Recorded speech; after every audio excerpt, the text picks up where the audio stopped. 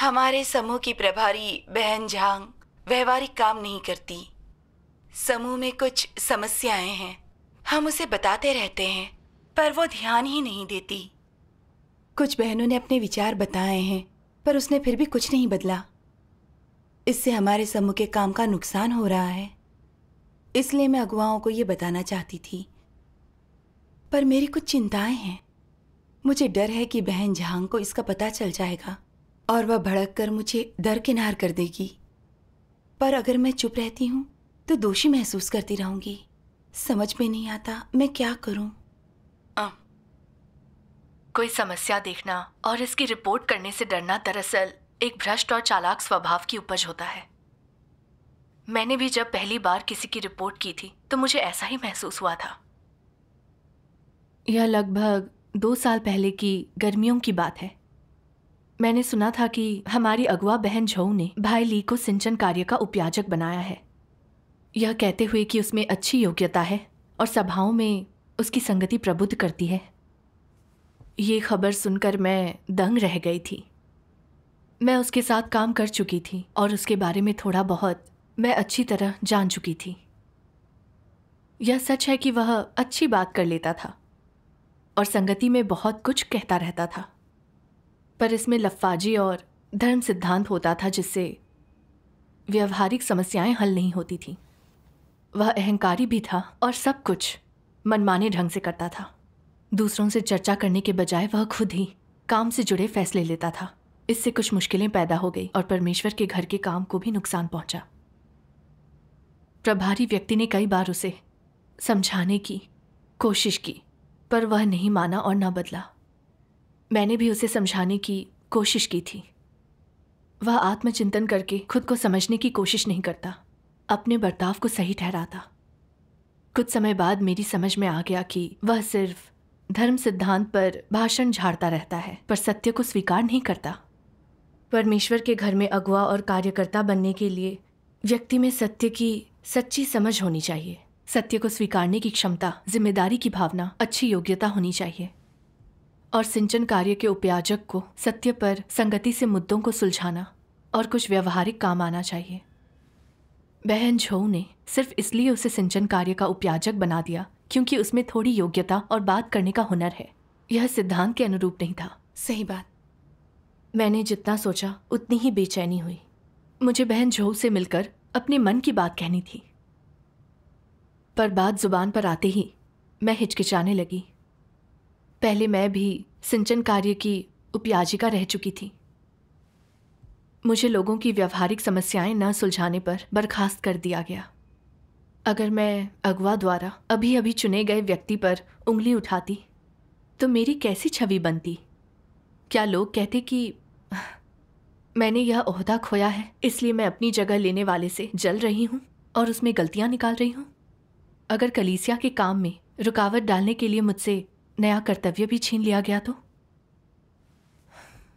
मैंने सोचा, मेरे लिए चुप रहने में ही भलाई है, बजाय अपनी टांग अड़ाकर मुसीबत मोल लेने के। इसलिए मैं मुँह खोलने ही वाली थी कि चुप हो गई। बाद में मैंने सुना कि किसी दूसरे समूह के भाई बहन भी भाई ली के साथ काम कर चुके थे। उन्हें लगता था कि भाई ली ने अपने कर्तव्य में कोई ज़िम्मेदारी नहीं उठाई थी वह उपयाचक के काम के लिए। ठीक नहीं था। मुझे यकीन हो गया मैं सही सोच रही थी। मैंने सोचा कि मुझे बहन झो से जल्द से जल्द बात करनी चाहिए ताकि गलत व्यक्ति की वजह से परमेश्वर के घर के काम में देर ना हो। बिल्कुल। तो तुमने उससे बात की? नहीं क्योंकि भाई ली को बहन झो ने नियुक्त किया था। अगर यह मुद्दा उठाती तो उसके मुँह पर उसी को दोष देना ना होता। मैं उसके साथ पहले काम कर चुकी थी। जानती थी कि वह बहुत अहंकारी, जिद्दी और बहुत अकड़ू है। मैंने इन मामलों पर उससे बात की तो उसने न सिर्फ़ मानने से इनकार किया, बल्कि एक दिन मुझे बुरी हालत में पाकर मुझे भाषण पिला दिया। मुझे लगा, अगर मैं उसके काम में कोई कमी निकालूं तो वह शायद सोचे कि मैं जानबूझकर अकड़ दिखा रही हूँ और उसे गिराना चाहती हूँ। फिर वह मेरे पीछे पड़ जाए तो मैं क्या करूँगी? मुझे यह भी याद आया, कुछ साल पहले जब मैंने और एक बहन ने एक अगवा में कुछ कमियाँ देखी थीं तो उसने हम पर गुट बनाकर उस पर हमला करने का आरोप लगा दिया था। इससे मेरा काम भी छिन गया। बाद में यह अगवा एक मसीह विरोधी के आरोप में निकाल दिया गया। पर उसने बहुत से अड़ंगे डालकर मुझे लंबे समय तक कोई काम नहीं मिलने दिया। मुझे डर था कि बहन झो मेरी बात को मानेगी नहीं और फिर किसी बहाने मुझसे मेरा काम छीन लेगी। परमेश्वर का कार्य जल्द ही अपने समापन पर आने वाला है, इसलिए यह कर्तव्य निभाने का अहम समय है। अगर ऐसे समय में मैं कोई कर्तव्य निभाकर अच्छे कर्म ना कर पाई तो मैं उद्धार का अपना अवसर खो दूँगी। तो क्या यह घाटे का सौदा नहीं होगा? यह सोचकर मैंने ये ख्याल अपने दिमाग से निकाल दिया। इसके बाद मैंने कुछ भाई बहनों को यह कहते सुना। जब से सिंचन कार्य का उपयाजक भाई ली बना था, वह सभाओं में सिर्फ़ धर्म सिद्धांत झाड़ रहा था। लोगों की समस्याएँ सुलझाने में मदद नहीं कर रहा था। वह कर्तव्य में ज़िम्मेदारी भी नहीं उठा रहा था। उसके साथ जुड़े कुछ नए विश्वासियों ने सभाओं में आना बंद किया क्योंकि वे कम्युनिस्ट पार्टी के झूठ से बहक गए थे। उसने समय रहते उन्हें संगति और मदद नहीं दी थी। उनमें से कुछ आस्था छोड़कर चले गए थे। यह सुनकर मुझे एहसास हुआ कि समस्या कितनी गंभीर थी। वो तो है ही। अगर वह सिंचन कार्य का उपयाजक बना रहा तो इससे कलीसिया को और ज़्यादा नुकसान होगा। इसलिए मुझे जल्द से जल्द इसकी रिपोर्ट करनी थी।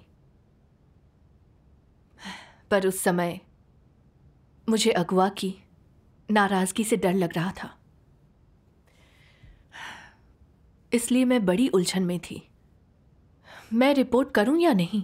अगर मैंने की तो मुझे खुद पर इसके असर का डर था। अगर नहीं की तो मैं अपराध बोध महसूस करती। मैं सोचती रही कि मैं कैसे यह मुद्दा उठाऊं। कि कुछ भी गलत ना हो, मेरे मन में यही ख्याल उठते रहते, जिससे मैं बेचैन और परेशान हो जाती। अब मेरी भी बिल्कुल यही हालत है। मैं भी इन्हीं चिंताओं में उलझी रहती हूँ। कुछ कहना चाहती हूँ पर डरती हूँ। सचमुच दम घुटने लगता है। क्या आप भाई ली के बारे में उससे कुछ बात कर पाई? एक बार एक सभा में एक समूह अगवा ने हमसे पूछा कि क्या हम भाई ली की तरक्की पर कोई विचार साझा करना चाहते हैं? अगर करना चाहे तो उसे एक संदेश भेजकर बताएँ। यह सुनते ही मैं झूम उठी और सोचने लगी कि यह बहुत अच्छा मौका था। वह आगे रहेगा और हमारे विचारों का सारांश अगवा से साझा करेगा। उसे पता भी नहीं चलेगा कि किसने क्या लिखा था। उसने खोजबीन की भी तो। समूह अगवा हमारा सुरक्षा कवच होगा। मैंने अपने हिसाब से समस्याओं के बारे में लिखकर उसे समूह अगवा को थमा दिया। अगली सुबह उसने मुझे यह कहकर चौंका दिया कि उसने मेरे विचार आगे भेज दिए हैं। मेरे तो होश ही उड़ गए कि उसने उन्हें पूरे समूह के विचारों की तरह साझा नहीं किया था। मैंने पूछा, तुमने मेरा मूल संदेश ही बहन झो को आगे क्यों भेज दिया? मेरी जोरदार प्रतिक्रिया देखकर उसने मुझसे कहा सभी के विचार अगुआ को भेजे गए हैं और हमें अपने विचारों को लेकर ईमानदार होना चाहिए। चिंता की क्या बात है? बिल्कुल। मैं समझ नहीं पाई कि इसका क्या जवाब दूँ। मैं हैरान भी थी और थोड़ी शर्मिंदा भी। मुझे ये सूझा ही नहीं था कि समूह अगुआ और भाई बहन पहले ही अपने सुझाव बता चुके थे। उनमें बोलने की हिम्मत थी। तो मैं क्यों इस मामले में आगे रहने से इतना डर रही थी? मैंने परमेश्वर के सम्मुख जाकर प्रार्थना की और आत्मचिंतन किया। इसके बाद मैंने परमेश्वर के वचनों का एक अंश पढ़ा। मैं इसे पढ़कर सुनाती हूँ। हाँ ठीक है। विवेक और सूझबूझ दोनों ही व्यक्ति की मानवता के घटक होने चाहिए। ये दोनों सबसे बुनियादी और सबसे महत्वपूर्ण हैं। वह किस तरह का व्यक्ति है जिसमें विवेक नहीं है? और सामान्य मानवता की सूझबूझ नहीं है। सीधे शब्दों में कहा जाए तो वह ऐसा व्यक्ति है जिसमें मानवता का अभाव है। वह बहुत ही खराब मानवता वाला व्यक्ति है। अधिक विस्तार में जाएँ तो ऐसा व्यक्ति किस लुप्त मानवता का प्रदर्शन करता है? विश्लेषण करो कि ऐसे लोगों में कैसे लक्षण पाए जाते हैं और वे कौन से विशिष्ट प्रकटन दर्शाते हैं। वे स्वार्थी और निकृष्ट होते हैं। स्वार्थी और निकृष्ट लोग अपने कार्यों में लापरवाह होते हैं और अपने को उन चीज़ों से अलग रखते हैं जो व्यक्तिगत रूप से उनसे संबंधित नहीं होती हैं। वे परमेश्वर के घर के हितों पर विचार नहीं करते हैं और परमेश्वर की इच्छा का लिहाज नहीं करते हैं। वे परमेश्वर की गवाही देने या अपने कर्तव्य को करने की कोई ज़िम्मेदारी नहीं लेते हैं और उनमें उत्तरदायित्व की कोई भावना होती ही नहीं है। कुछ लोग ऐसे होते हैं जो चाहे कोई भी कर्तव्य निभाएँ, पर कोई ज़िम्मेदारी नहीं लेते। वे अपने वरिष्ठों को पता चलने वाली समस्याओं की रिपोर्ट भी नहीं करते। जब वे लोगों को दखलंदाजी करते और उपद्रवी होते देखते हैं तो वे आँख मूंद लेते हैं। जब वे दुष्ट लोगों को बुराई करते देखते हैं तो वे उन्हें रोकने की कोशिश नहीं करते। वे परमेश्वर के घर के हितों पर थोड़ा सा भी ध्यान नहीं देते। न ही इस बात पर कि उनका कर्तव्य और ज़िम्मेदारी क्या है। जब ऐसे लोग अपने कर्तव्य निभाते हैं तो वे कोई वास्तविक कार्य नहीं करते। वे हाँ में हाँ मिलाने वाले लोग होते हैं, जो सुविधा के लालची होते हैं। वे केवल अपने घमंड, साख, हैसियत और हितों के लिए बोलते और कार्य करते हैं और अपना समय और प्रयास निश्चित रूप से किसी भी ऐसी चीज़ में लगाते हैं, जिससे उन्हें लाभ होता है। ऐसे इंसान के कर्म और इरादे हर किसी को स्पष्ट होते हैं। जब भी सम्मान या आशीष प्राप्त करने का कोई मौका आता है ये उभर आते हैं। लेकिन जब सम्मान पाने का कोई मौका नहीं होता या जैसे ही दुख का समय आता है, वैसे ही वे उसी तरह नज़रों से ओझल हो जाते हैं, जैसे कछुआ अपना सिर खोल में छिपा लेता है। क्या इस तरह के इंसान में जमीर और विवेक होता है? क्या ऐसा बर्ताव करने वाले, जमीर और विवेक से रहित इंसान आत्मनिंदा एहसास करता है? नहीं। इस प्रकार के व्यक्ति में आत्मनिंदा की कोई भावना नहीं होती। इस प्रकार के इंसान का जमीर किसी काम का नहीं होता। उसे कभी भी आत्मनिंदा का एहसास नहीं होता। तो क्या वे पवित्र आत्मा की झिड़की या अनुशासन को महसूस कर सकते हैं? नहीं वे नहीं कर सकते। आमीन। परमेश्वर के वचनों ने मेरी हालत हूबहू बयां कर दी। मैं जानती थी कि अगुआ सिद्धांत के खिलाफ काम कर रही थी। और भाई ली अच्छे उपयाजक की तरह काम नहीं कर रहा था। बल्कि दूसरों के जीवन प्रवेश में बाधा बन रहा था। मुझे कलीसिया के काम की रक्षा करने के लिए आगे बढ़कर रिपोर्ट करनी चाहिए। यह परमेश्वर के चुने हुए सभी लोगों का परम कर्तव्य है। हम्म। पर इसके बजाय मुझे बहन छऊ की नाराज़गी और अपने कर्तव्य से हटाए जाने का डर था। इसलिए मैंने अपना मुँह छिपा लिया था और मामले से अपनी आँखें मूंद ली थी। मैंने अपने विचार लिखकर समूह अगवा से साझा किए थे। पर मैं नहीं चाहती बहन झो को पता चले कि यह मैंने लिखा है। मुझे एहसास हुआ कि मैं अपने भले के बारे में सोच रही थी, न कि परमेश्वर के घर के भले के बारे में। मुझमें अंतरात्मा और विवेक की कितनी कमी थी। मुझे परमेश्वर के वचनों से सिंचन और पोषण का कितना आनंद मिला है। पर जब परमेश्वर के घर के काम पर आँच आई तो मैं खुद को बचाने की सोचती रही। परमेश्वर के लिए मेरी कोई निष्ठा नहीं थी। मैंने जिस थाली में खाया, उसी में छेद किया। मुझमें मानवता थी ही नहीं। मैं जितना सोचती रही, मैं दुखी होती रही। और फिर मैंने सोचा, ऐसे मामले से सामना होने पर मैं इतनी भयभीत और चिंतित क्यों हो गई? सिर्फ़ एक सच्ची बात कहना भी मेरे लिए मुश्किल हो गया। आखिर मैं किस तरह के स्वभाव के वश में थी? बाद में मैंने परमेश्वर के वचनों का एक अंश पढ़ा जिससे सब कुछ साफ़ हो गया। चलो इसका वीडियो देखते हैं। ठीक है। हम्म। सर्वशक्तिमान परमेश्वर कहते हैं ज़्यादातर लोग सत्य का अनुसरण और अभ्यास करना चाहते हैं लेकिन अधिकतर समय उनके पास ऐसा करने का केवल संकल्प और इच्छा ही होती है। सत्य उनका जीवन नहीं बना है। इसके परिणाम स्वरूप, जब लोगों का बुरी शक्तियों से वास्ता पड़ता है, या ऐसे दुष्ट या बुरे लोगों से उनका सामना होता है, जो बुरे कामों को अंजाम देते हैं, या जब ऐसे झूठे अगुवाओं और मसीह विरोधियों से उनका सामना होता है, जो अपना काम इस तरह से करते हैं जिससे सिद्धांतों का उल्लंघन होता है। इस तरह परमेश्वर के घर के कार्य को नुकसान उठाना पड़ता है और परमेश्वर के चुने गए लोगों को हानि पहुँचती है। वे डटे रहने और खुलकर बोलने का साहस खो देते हैं। जब तुम्हारे अंदर कोई साहस नहीं होता, इसका क्या अर्थ है? क्या इसका अर्थ ये है कि तुम डरपोक हो या कुछ भी बोल पाने में अक्षम हो? या फिर ये कि तुम अच्छी तरह नहीं समझते और इसलिए तुम में अपनी बात रखने का आत्मविश्वास नहीं है? इनमें से तो कोई नहीं। बात यह है कि तुम कई प्रकार के भ्रष्ट स्वभावों द्वारा नियंत्रित किए जा रहे हो। इन सभी स्वभावों में से एक है कुटिलता। तुम ये मानते हुए सबसे पहले अपने बारे में सोचते हो। अगर मैंने अपनी बात बोली तो इससे मुझे क्या फ़ायदा होगा? अगर मैंने अपनी बात बोलकर किसी को नाराज़ कर दिया तो हम भविष्य में एक साथ कैसे काम कर सकेंगे?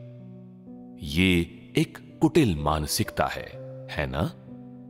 क्या ये एक कुटिल स्वभाव का परिणाम नहीं है? एक अन्य स्वार्थी और कृपण स्वभाव होता है। तुम सोचते हो, परमेश्वर के घर के हित का नुकसान होता है तो मुझे इससे क्या लेना देना है? मैं क्यों परवाह करूँ? इससे मेरा कोई ताल्लुक नहीं है। अगर मैं इसे होते देखता और सुनता भी हूँ तो भी मुझे कुछ करने की ज़रूरत नहीं है। ये मेरी ज़िम्मेदारी नहीं है, मैं कोई अगुआ नहीं हूँ। इस तरह की चीज़ें तुम्हारे अंदर हैं, जैसे वे तुम्हारे अवचेतन मस्तिष्क से अचानक बाहर निकल आई हों, जैसे उन्होंने तुम्हारे हृदय में स्थायी जगहें बना रखी हों। ये मनुष्य के भ्रष्ट, शैतानी स्वभाव हैं। ये भ्रष्ट स्वभाव तुम्हारे विचारों को नियंत्रित करते हैं और तुम्हारे हाथ पैर बाँध देते हैं और वे तुम्हारी ज़ुबान को नियंत्रित करते हैं। जब तुम अपने दिल में कोई बात कहना चाहते हो तो शब्द तो तुम्हारे होठों तक पहुँचते हैं, लेकिन तुम उन्हें बोलते नहीं हो। या अगर तुम बोलते भी हो तो तुम्हारे शब्द गोलमोल होते हैं और तुम्हें चालबाजी करने की गुंजाइश देते हैं। तुम बिल्कुल साफ़ साफ़ नहीं कहते। दूसरे लोग तुम्हारी बातें सुनने के बाद कुछ भी महसूस नहीं करते और तुमने जो कुछ भी कहा होता है, उससे समस्या हल नहीं होती। तुम मन ही मन सोचते हो अच्छा है, मैंने बोल लिया। मेरा अंतकरण निश्चिंत हुआ। मैंने अपनी ज़िम्मेदारी पूरी कर दी। सच्चाई यह है कि तुम अपने हृदय में जानते हो कि तुमने वो सब नहीं कहा है जो तुम्हें कहना चाहिए। कि तुमने जो कहा है, उसका कोई प्रभाव नहीं पड़ा। और परमेश्वर के घर के कार्य का अहित ज्यो कत्यों बना हुआ है। तुमने अपनी ज़िम्मेदारी पूरी नहीं की, फिर भी तुम खुल्लम खुल्ला कहते हो कि तुमने अपनी ज़िम्मेदारी पूरी कर दी है, या जो कुछ भी हो रहा था, वो तुम्हारे लिए स्पष्ट नहीं था। क्या यह सच है? क्या तुम वाकई यही सोचते हो? फिर क्या तुम पूरी तरह अपने शैतानी स्वभावों के काबू में नहीं हो। तुम जो कुछ सोचते और कहते हो, वो कभी कभी वास्तविकता के करीब हो सकता है। लेकिन महत्वपूर्ण क्षणों में तुम अब भी झूठ बोलते और धोखा देते हो। यहाँ तक कि अपने बचाव के झूठे तरीके गढ़ते हो, जो साबित करता है कि तुम्हारा मुख शैतानी स्वभावों के नियंत्रण में है। तुम वास्तव में जो सोचते हो, वो कभी नहीं कहते। वो सब तुम्हारे दिलो दिमाग में पूर्व संपादित होता है। तुम्हारी हर बात झूठ होती है, तथ्यों के विपरीत होती है। वो सब तुम्हारे झूठे बचाव में तुम्हारे फ़ायदे के लिए होता है। कुछ लोग झांसे में आ जाते हैं और तुम्हारे लिए यह काफ़ी होता है। तुम्हारे शब्द और कार्य अपना लक्ष्य हासिल कर लेते हैं। तुम्हारे दिल में यही है, ये तुम्हारे स्वभाव हैं। तुम पूरी तरह से अपने शैतानी स्वभावों के नियंत्रण में हो। आमीन आमीन। परमेश्वर के वचन बिल्कुल स्पष्ट हैं। समस्याओं की बात न करना स्वार्थी और धूर्त स्वभाव दर्शाता है। सही बात है। परमेश्वर के वचनों में इसका वर्णन देखकर मैं समझी कि मैं ना तो सत्य का अभ्यास कर रही थी, ना परमेश्वर के घर की रक्षा, क्योंकि मैं प्रकृति से ढिलमुल, स्वार्थी और नीच थी। यह जानकर कि भाई ली की नियुक्ति में बहन झो ने सिद्धांतों का पालन नहीं किया था और कोई काम न करने के कारण कलीसिया के काम को नुकसान पहुँचा। यह दिन के उजाले की तरह साफ़ था। मुझे पता था कि मुझे इस पर उंगली उठानी चाहिए। यह कलीसिया के काम के हित में होगा। पर मैं कभी भी कुछ कहने की हिम्मत नहीं जुटा पाई। एक समूह अगवा के पहल पर मैंने आखिरकार अपने विचार लिख दिए। लेकिन यह पता चलते ही कि उसने उन्हें सीधे अगुआ को भेज दिया है। मैं सकपका गई और सोचने लगी कि उसने मेरी पोल खोल दी है। अपने सभी विचारों और कार्यों में मैं यही तरकीब निकालने के लिए दिमाग लगा रही थी कि अपने आप को कैसे बचाऊं, ताकि मुझ पर कोई आँच ना आए। मैं अच्छी तरह जानती थी कि भाई बहनों के जीवन और कलीसिया के काम को नुकसान हो रहा है। न सत्य को व्यवहार में ला रही थी, ना मैं समस्याओं के बारे में बोल रही थी। मैं ऐसे शैतानी फलसफों के अनुसार चल रही थी कि हर व्यक्ति अपनी सोचे, बाकियों को शैतान ले जाए। ज्ञानी लोग आत्मरक्षा में अच्छे होते हैं। बाहर निकली कील हथौड़ी से ठोकी जाती है। ये बातें मेरे विचारों पर छाई हुई थीं। और मुझे अपने वश में किए हुई थी जिससे मैं स्वार्थी और धूर्त बन गई। मैं परमेश्वर के वचन पढ़ती थी पर मेरे दिल में परमेश्वर के लिए कोई जगह नहीं थी। मैं किसी असली हालत पर शायद ही सच्ची बात कह सकती थी या रोशनी डाल सकती थी। मैं शैतान के अनुचर की तरह बिल्कुल। गई गुजरी ज़िंदगी जी रही थी। स्वार्थी घृणित और मानवता रहित होना परमेश्वर को इससे सचमुच घृणा थी। मुझे बहुत पछतावा होने लगा। और मैंने परमेश्वर से मौन प्रार्थना की।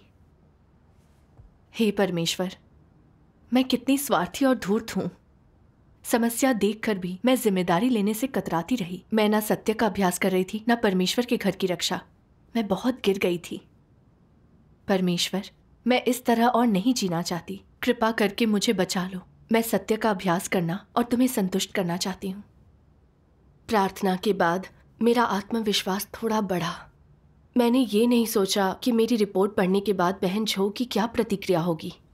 परमेश्वर का धन्यवाद। क्या उसने भाईली को बर्खास्त कर दिया? नहीं किया।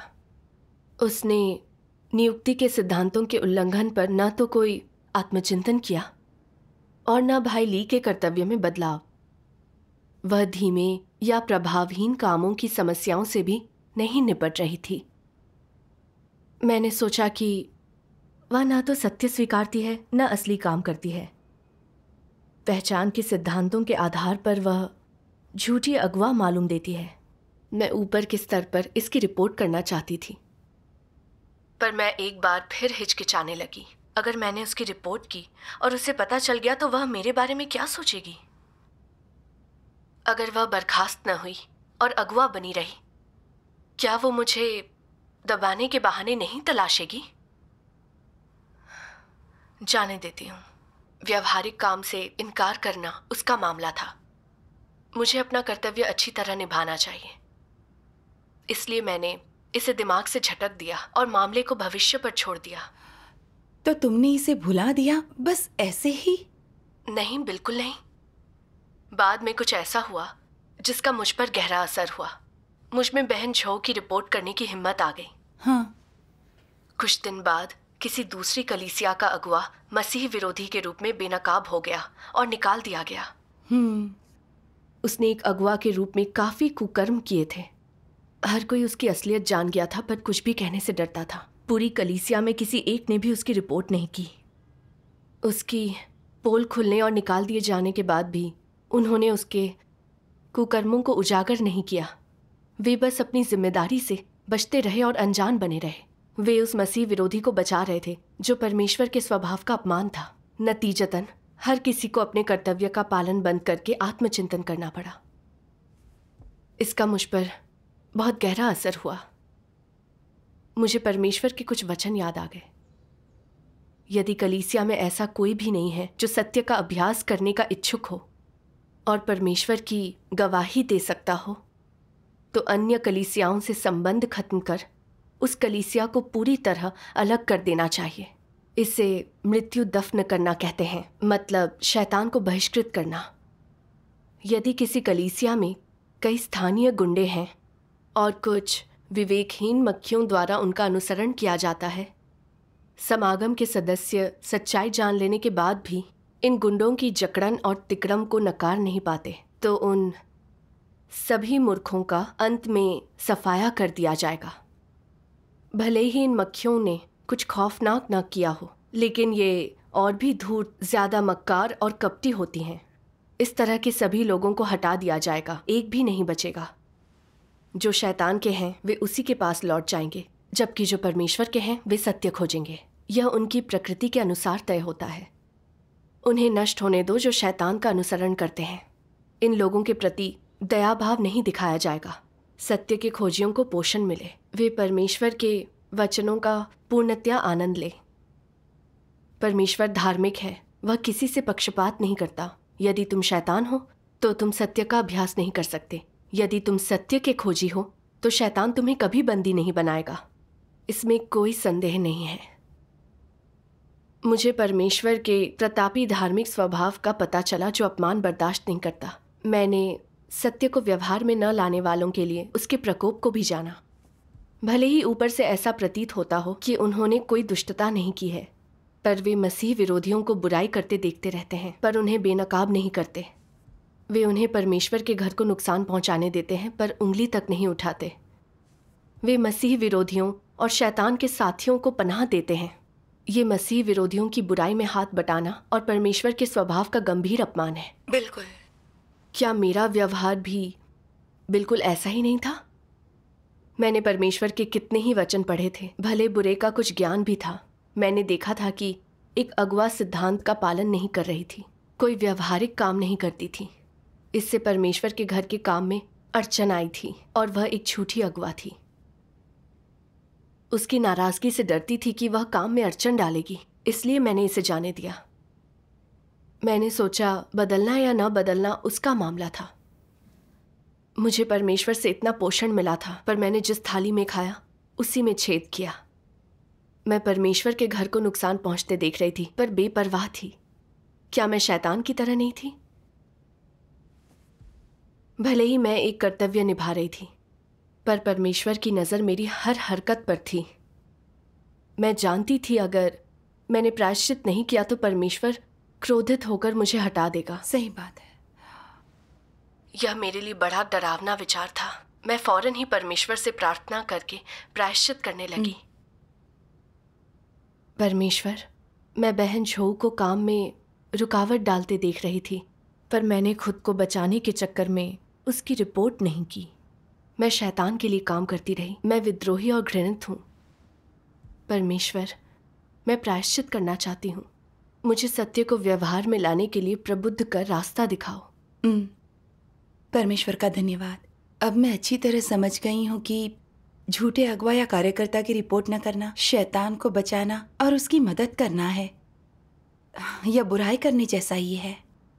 सचमुच, मैं उस समय सोच रही थी। मैं अगुआ की रिपोर्ट करने से इतना डर क्यों रही थी? मुझे किस चीज़ का डर था? प्रार्थना के दौरान मैंने परमेश्वर के वचनों के कुछ अंश पढ़े, जिनसे मामला और भी साफ़ हो गया। क्यों ना तुम इसे पढ़ो? ठीक है। एक अगुआ या कार्यकर्ता के साथ व्यवहार करने के तरीके के बारे में लोगों का रवैया कैसा होना चाहिए?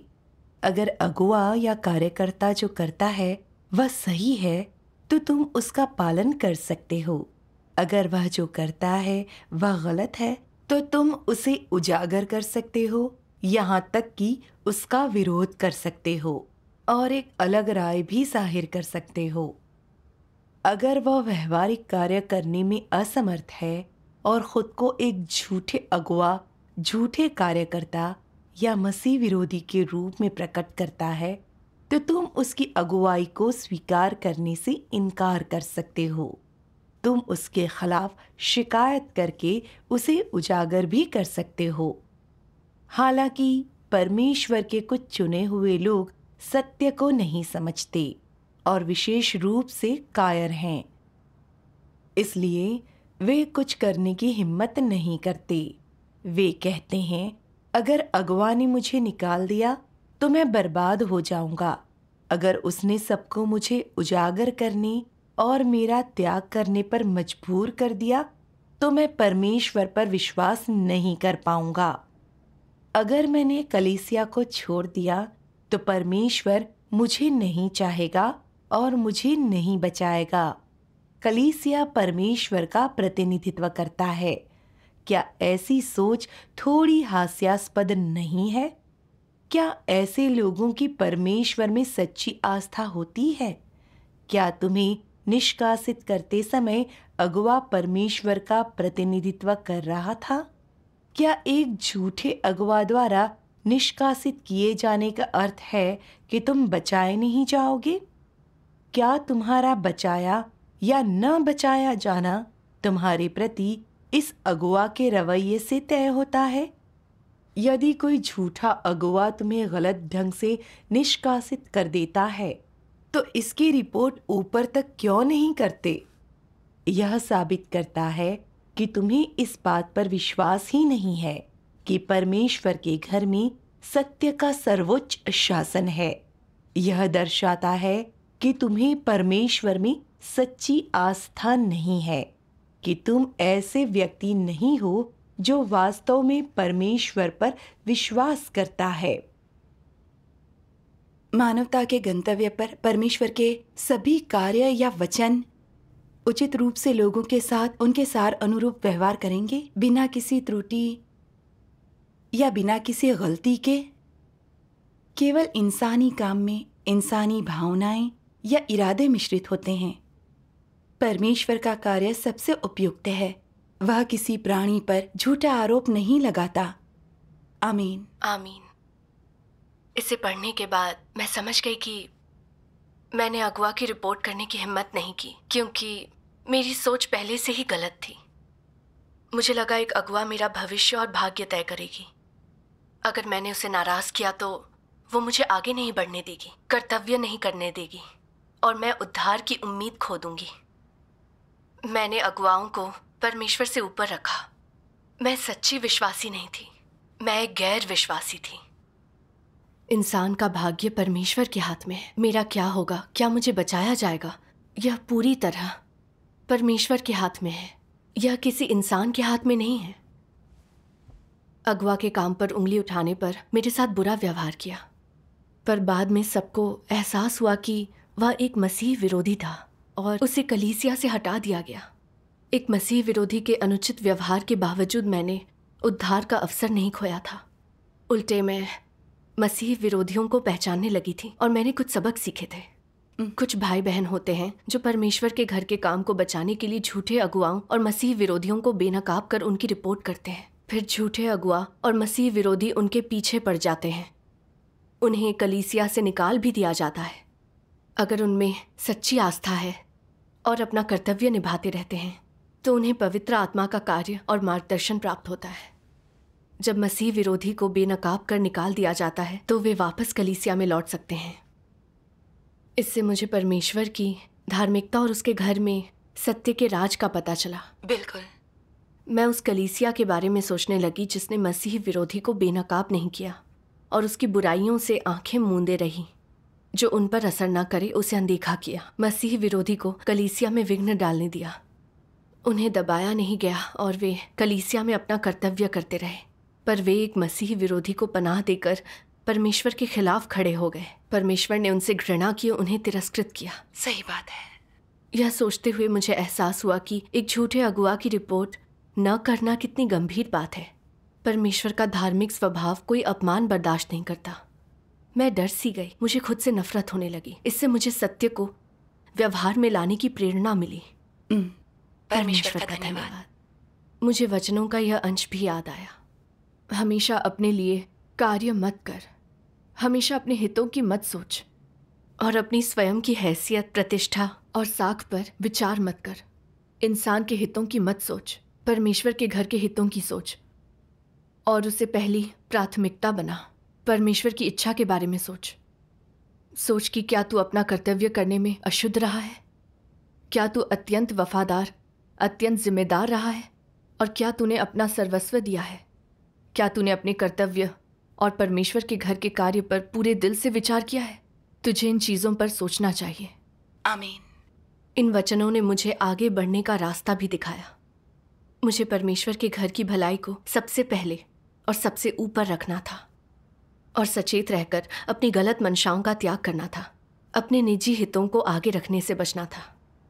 इसलिए मैंने समस्याओं को लिखकर ऊँचे अगुआ से रिपोर्ट करने की तैयारी कर ली। परमेश्वर का धन्यवाद।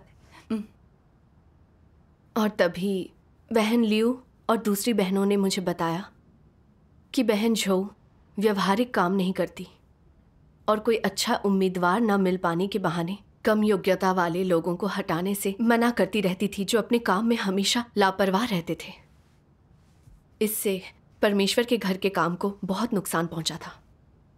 वह कलीसिया की पुरानी समस्याओं पर ध्यान नहीं दे रही थी और फिर मनमाने ढंग से लोगों को नियुक्त कर रही थी। सिद्धांतों के अनुसार बहन झो एक झूठी अगुआ थी। हमने उसका रिपोर्ट पत्र लिखकर एक अगुआ को सौंप दिया। परमेश्वर का धन्यवाद। मैं समझ नहीं, मामले की जाँच की तो पाया कि बहन झो ने कभी कोई व्यवहारिक काम नहीं किया था। वो तानाशाह थी। वो तय कार्य व्यवस्थाओं के खिलाफ चलती थी। दूसरों को काबू में रखती थी। झूठे अगुआ के रूप में पहचाने जाने पर उसे हटा दिया। भाई ली को प्याजक के तौर पर अयोग्य पाकर किसी दूसरे काम में लगा दिया गया। मामले के इस नतीजे का पता चलते ही मेरे मन में भावनाएँ उमड़ने लगी। परमेश्वर के घर में मसीह और सत्य का बोलबाला है। सत्य को व्यवहार में लाने पर मेरा आत्मविश्वास बढ़ गया। मैं परमेश्वर के प्रति कृतज्ञता से भर गई। परमेश्वर का धन्यवाद। मैं परमेश्वर के मार्गदर्शन के लिए आभारी हूँ जिसने मुझे शैतानी फलसफों के बंधन से मुक्त किया। मुझमें इतनी हिम्मत जगाई कि मैं सत्य का अभ्यास कर सकूँ, एक झूठे अगुआ की रिपोर्ट कर सकूँ। परमेश्वर का धन्यवाद। आपकी संगति ने मेरी आँखें खोल दी हैं। मैं जान गई कि मुझे भी सत्य का अभ्यास करके सिद्धांतों को कायम रखना और परमेश्वर के घर के काम को बचाना है। परमेश्वर का धन्यवाद।